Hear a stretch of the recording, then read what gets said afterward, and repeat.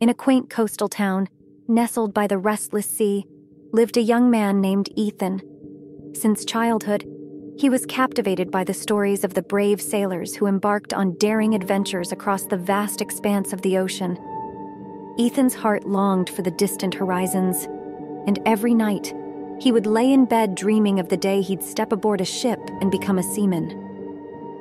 One fateful morning, as the sun cast a golden hue upon the waves, Ethan's dream became a reality. He stood on the wooden deck of a massive cargo ship, the salty breeze tousling his hair. The excitement danced in his eyes, and he couldn't help but smile as he set foot on the vessel that would carry him to his destiny. The initial days at sea were a blur of new experiences and camaraderie. Ethan's heart swelled with pride as he worked alongside his fellow crew members, their laughter and shared stories echoing across the ship. The first night passed peacefully, his bunk a cocoon of dreams and aspirations. As the days stretched into a week, Ethan began to notice an odd occurrence. He crossed paths with his colleagues less frequently than before, and an eerie hush seemed to settle over the ship as night fell. Odd noises, like distant whispers, brushed against his ears, rousing him from his slumber. Puzzled, he confided in a fellow crew member, a weathered seaman named Captain Wilson.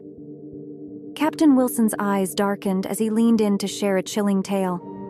He spoke of sentient souls that haunted the ship, souls of former seamen who had lost their way to the abyss of sorrow and loneliness. These spirits, trapped in a liminal world, roamed the ship seeking solace and connection with the living. They yearned for the companionship they were denied in life, their voices carried on the wind that swept through the ship's sails. Though apprehensive, Ethan grew accustomed to the presence of these spectral visitors as time passed. He would sometimes catch a glimpse of a faint figure out of the corner of his eye, or hear distant echoes of laughter in empty corridors. But, like the others, he became inured to their ethereal existence brushing them off as mere echoes of the past. One moonless night, however, Ethan's world took a terrifying turn. He awoke to a peculiar weight upon his face, as if someone's foot dangled just above him.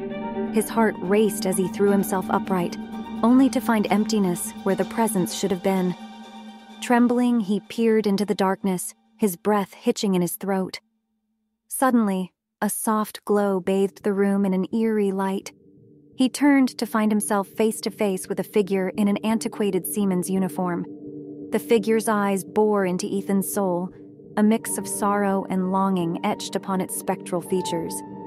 It spoke, a whisper that seemed to seep into Ethan's very being. I was like you once, full of dreams and hope, the ghostly seaman began, his voice a melancholic melody.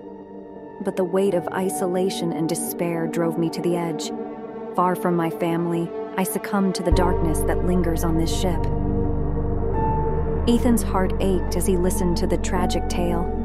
The apparition shared how the other souls, like brothers in suffering, had found a modicum of peace through the passage of time. They sought only to be acknowledged, to share a fleeting connection with the living world.